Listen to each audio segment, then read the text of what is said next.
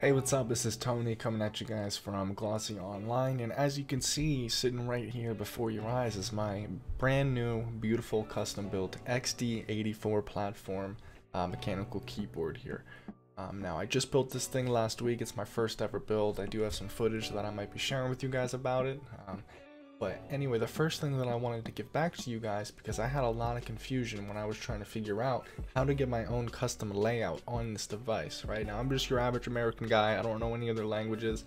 Um, and a lot of the information that you can find out here, um, specifically around this brand, KP Republic, it's all in Chinese or, or, Mandarin or something that, you know, my brain doesn't comprehend, honestly. I know you can Google Translate things, but it's still not as easy or clear.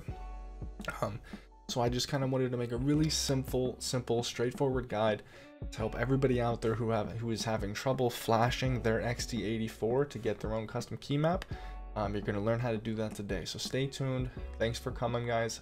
If you're interested in gaming videos, gaming footage, I do go live on Twitch playing some video games. We like to get loose, kick back, uh, hang out with the jabronis, and um, go ahead and check the link in the description down below if you want to see some gaming action as well. Alrighty, so there is a few things that you're going to need. The first thing that we need to note about this specific PCB board, the XD84, is that the reset switch, the way that you put this keyboard into manual reset mode, unlike other keyboard PCBs out there that I've seen that have a physical little button or a little switch or something like that, or even actually I've seen them where when you boot them on, you can hold like a combination of keys, for example, shift and I mean uh, spacebar and B I've seen puts the keyboard into reset mode. This keyboard has what's called a reed switch. It's a switch that's activated by a simple magnet, okay? So that brings us to the first thing you need. You need to get yourself a magnet that's strong enough to trip the switch. However, I want to warn you due to my ignorance, I'm not exactly sure what will happen if you use a magnet that's too strong, right? Maybe nothing, I'm not sure, but I just wanted to preface that with you guys, right? Be careful. These are expensive devices we're working with here, right? Um, so the first one I have here, these are simple literal kitchen magnets that I used. So, you know, that goes to show it doesn't really take a super magnet to do this. However, this flat type of uh, magnet right here that, you know, you guys probably have some hanging around your kitchen, this is one that didn't work for me. It was not strong enough in whatever capacity that it needs to be to trip that switch. So Had this magnet on this chip holder right here as a backup, and this is probably a little bit thicker. And you can see I didn't even take it out of the housing. Maybe I should do that. Um, but this worked perfectly for me. Okay. Now again, just be careful with your magnets. Do some do some homework if you're not um, exactly sure. I just know that I wasn't really afraid of using these, so I kind of just tried them, and they and this one worked. Um, the small guy didn't, but do your homework on that one and um, figure out what kind of magnet that's going to work for you. Again, if you have one looking like this, it'll probably do the job.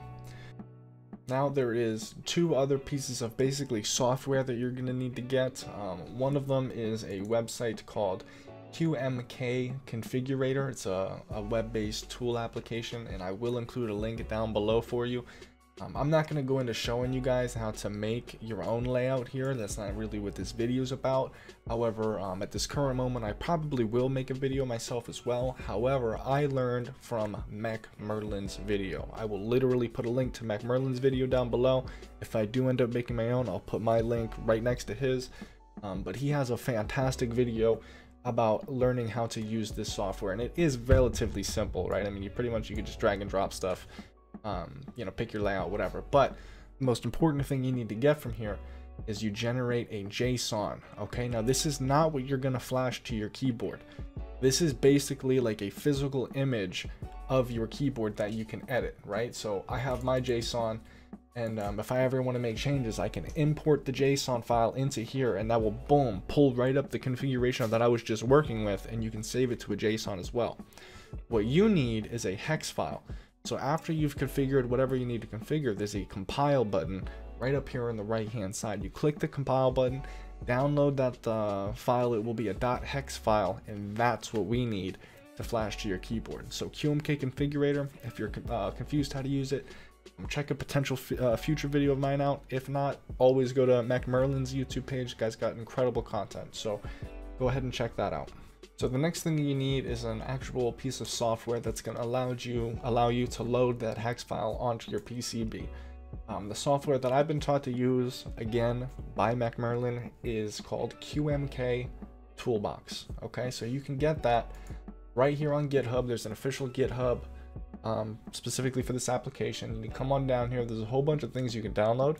I just went ahead and downloaded this simple file right here, the QMK Toolbox and um, that's what that's what works for me. Again, Mech Merlin actually has an advanced guide on this. I will touch on it a little bit here in this video, but again, I'm straight up gonna post this video down in the comments below in case you guys are uh, confused about it, okay? So let's move on to the actual procedure. What you're gonna need to do is grab your, your hex file that you got off of this QMK configurator and just real quick, because I didn't go over it, I just wanna show you guys the layout I'm going with.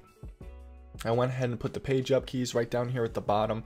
Um, I like them right next to each other. I notice on a lot of different layers, they're kind of two keys apart, and I just, I don't understand that. I mean, that, that's the home and the end key, rather.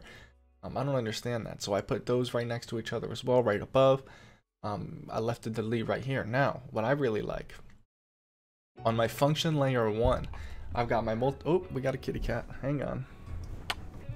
If my, uh, if my little guy here wants to let me do this, we've got, um, on our first function layer here, up at the top right, these are all multimedia keys, right? We have next, previous, and play. Um, and then I also like my volume controls as well. So, you know, I'll be over here working, listening to music. If I get a call or something, boom, I can just slap FN, F10, and um, that will mute all my system volume. So once you have the actual layout that you want, all you need to do is go ahead and open up your QMK toolbox here. That's a load, boom. And then you need to open up the local file. Basically, it's just your, your hex file you need to open navigate to where your .hex file is and then click open, okay? So now this is where things get really tricky with this specific board, okay? Because we need to be activating that um, the reed switch at the same time. We basically need to be activating it in a very specific way. So now I can show you guys kind of what it looks like when it actually is tripped because when you have your magnet on the reed switch, your system will not recognize it as a device. So when I plug this in here,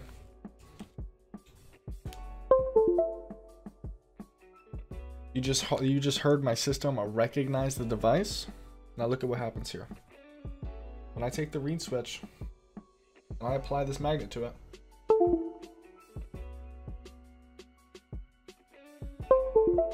you can see my system, look at what just happened right there device connected, Atmel Corporation. That's exactly what you need to see. Now, what you do is hit the flash button. It's gonna attempt to flash. Please don't remove device. You're gonna get a whole bunch of different um, messages here. DFU programmer, erasing flash, success. It has to clear it first. Then it programs on the new flash exactly from the file that you um, took here. It will tell you success and it's to disconnect it again. So after you've get this message here, what you need to simply do to get the new the new layout um, as your current layout, disconnect the cable, reconnect the cable. Now, test your device for functionality and everything should be working properly. Now again, I do just want to say, it took me a long time and maybe it's because this magnet was awkward maybe it was because i just didn't understand the process fully.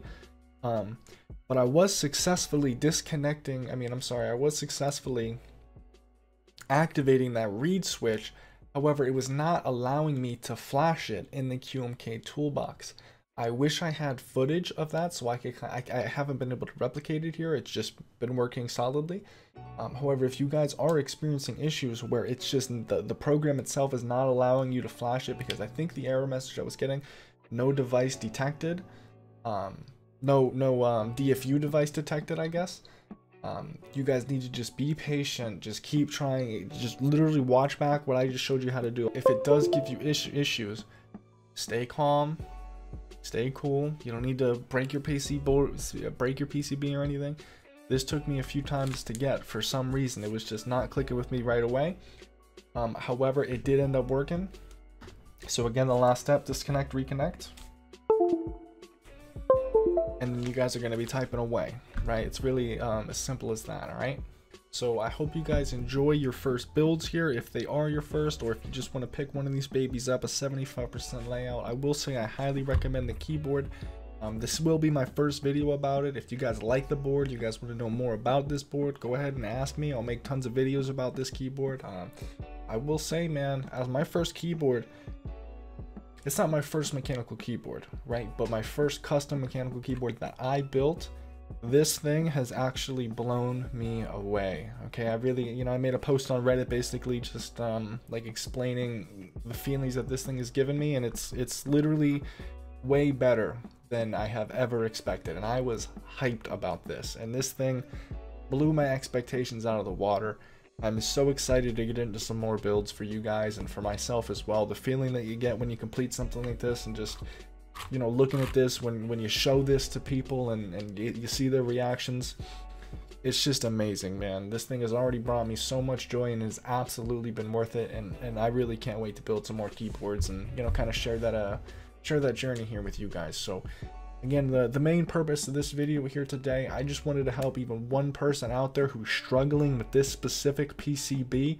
Um, because like I said, I know that I, I had troubles get is the, getting this thing to flash right away. I hope I could actually clear that up for you. And if I did let me know. That will make me super pumped. And that will even if it's one person that will make this video a success. So thank you guys so much for tuning in again.